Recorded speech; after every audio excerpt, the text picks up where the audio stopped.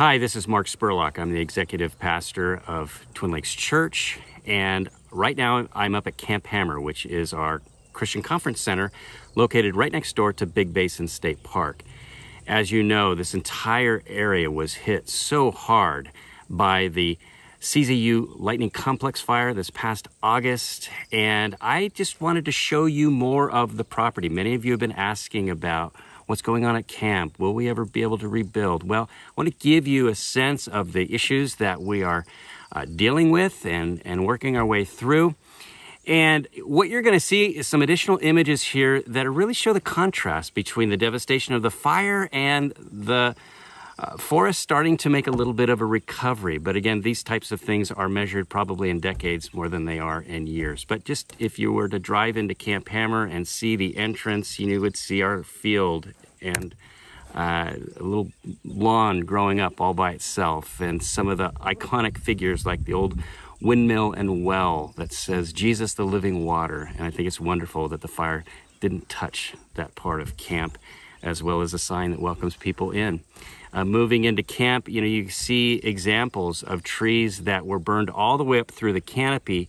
On this particular red, redwood tree, uh, those suckers, those sprouts that are growing out from the side, that's pretty much what this tree will look like uh, for the rest of its days. What I'm told by our arborist is that uh, it'll look kind of like a poodle tree. It won't have normal growth.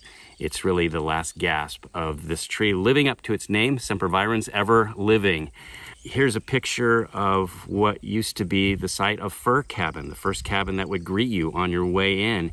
You can see the building site at the bottom part of this photo, and then just um, nothing more in terms of the building.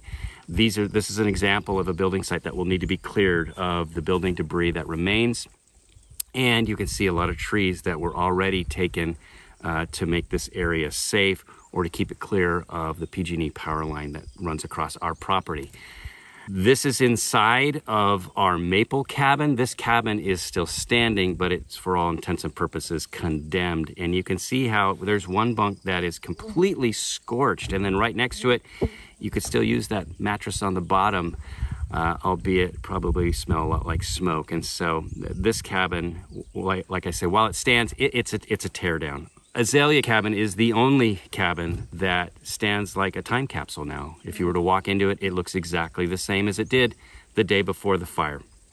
This is our main recreational field, and the fire went around this area because it's surrounded by two creeks the creek that comes down from the pond and Blooms Creek on the other side. And so it wrapped around this area, uh, preserving uh, these uh, recreational sheds and the trees that rim this area.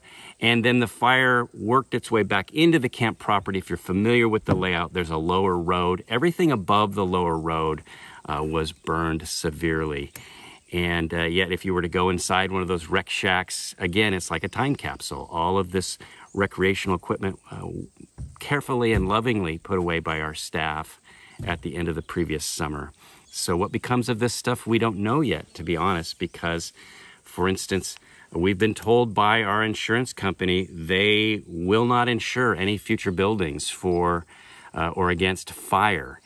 And so that obviously creates a real dilemma. This is a growing trend in California. There are more and more places in the state, in the mountains, in wooded areas, that insurance companies are just across the board deeming uninsurable. And so we have our camp in one of those areas. In this image here, you're looking from what would have been the back of the kitchen through the dining hall to where there was a fireplace and chimney on the other side where people would come in and grab a cup of coffee in the morning and warm themselves by the fire. Uh, for those of you who are familiar with our staff, one of our pastors, Dan Baker, met his bride to be, Gwenda, right in front of that fireplace many years ago. So there's just so much history, so much memories uh, that. Uh, are still part of this, this site, even though the buildings themselves have been taken away. This is the swimming pool. It looks uh, like a pond right now. We don't have any power, so we can't drain it. And if we could, it would be subject to perhaps lifting when rain's coming. So we got to deal with that. Right now, we have a man in our church, in fact, who works at the county vector control coming up and helping to control the mosquitoes that would like to lay their young ones in there. Um, but uh, the pool house behind it, the snack shack are, are also completely destroyed.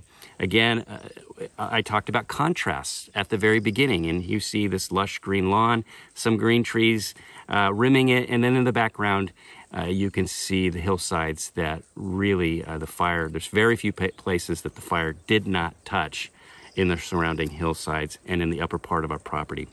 Again, life in the midst of destruction. Uh, some of our staff members, including Renee's own daughter, planted flowers in front of what used to be a staff home. And uh, the flowers still bear witness to that moment. But I would just mention as we stop here at the staff home here to remember our staff. We had 18 people living up here. All of their dwellings were destroyed. Uh, they have all since now needed to move on to, to other jobs as the future of camp remains somewhat uncertain, as it will be for uh, some time to come. Like I said in another report, uh, the first order of business for us is to have these building sites cleaned and cleared. We're hoping for state assistance. If that doesn't pan out, we'll uh, have a private contractor do that for us. We also need to remove close to 120 trees that have been condemned.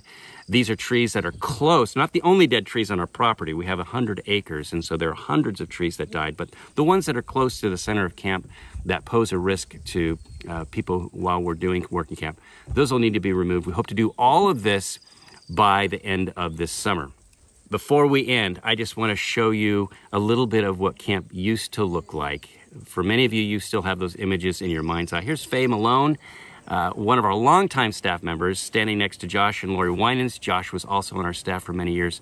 This is when they were picking up their son Jacob after a week of apostle camp. And if you come up on a Saturday morning at the end of a week of camp, uh, you will see smiles abounding because lives have been touched in a profound way uh, through the ministry of camp.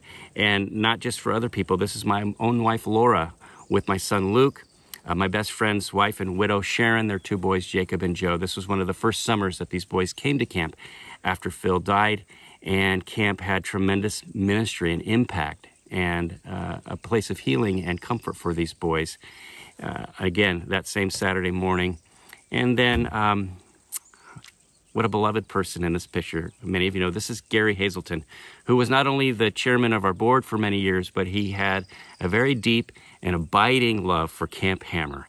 And I'm happy to say a memorial bench that was put here in his memory, it survived. He's here with his wife Jill, their, their grandson Michael Spinelli, also uh, just kind of basking in the afterglow of another week at Camp Hammer. And so, for 55 years, the legacy of camp has been a place where God impacts people with the gospel, with the love of Jesus Christ in profound ways. And uh, that includes my own life to uh, an immeasurable degree. And so, uh, I, among others, would love nothing more than to see camp, uh, see a second act. But there's just a lot of things that we need to work through before we can say, yeah, it's, it's a go. So, would you please be praying for us that God would give us wisdom and clear direction? And I hope that in the midst of the sadness and the grief, which I feel on a very deep level, you will also continue to look to the Lord for hope, for encouragement, because this is what I know. From day one, 55 years ago, when this place was dedicated for the Lord's purposes, until this moment right now, Camp Hammer has always been in the Lord's hands. Hands that are capable, hands that are sure. And so we will rest in the fact that Jesus Christ is the Lord of all life, including whatever life he chooses to perpetuate here at Camp Hammer. Thanks for watching this update, and uh, we hope to keep you posted as further developments emerge in the months to come. God bless.